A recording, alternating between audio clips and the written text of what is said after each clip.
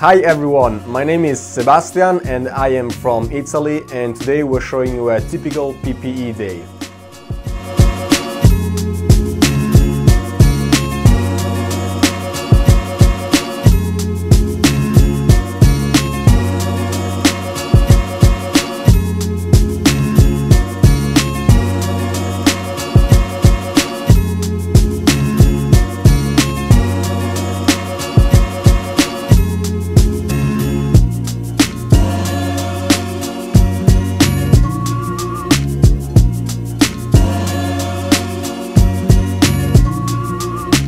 I arrived in the entrance hall and I will go now to the fourth floor where Nadine and Abe will show you around.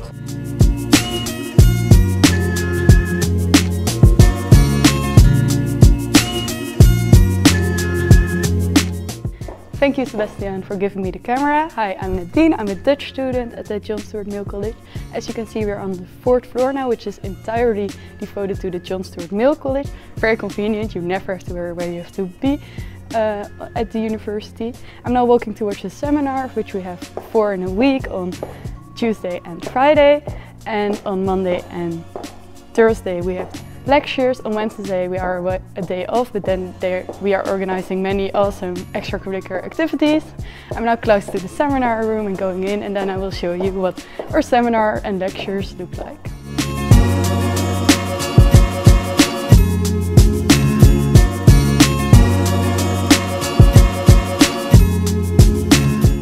Hey guys, I just got the camera from Nadine after the seminar and I'm now going to show you around the John Stuart Mill College.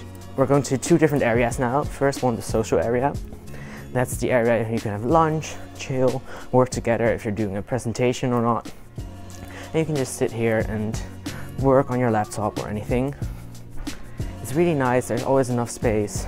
It's brand new, it's pretty nice. Now we're going to the study area. This is the second area we have as PPE in the John Stuart Mill College.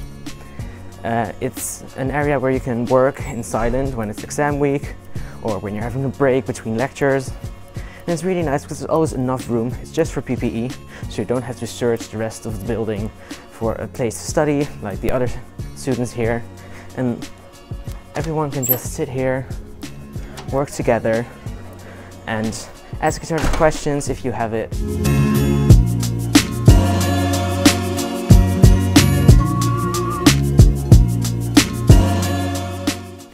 Thank you very much for joining us and we hope to see you next year. Bye!